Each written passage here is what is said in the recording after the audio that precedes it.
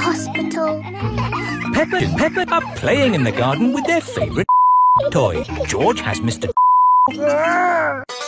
Oh, you touch my tra-la-la. Mmm, my ding-ding-dong. Susie has Penguin. and Peppa has Ted. Fuck you! What game shall we play? Nothing. You want to roll down the hill? No, I don't. Okay, For fuck's sake. let's jump in mud.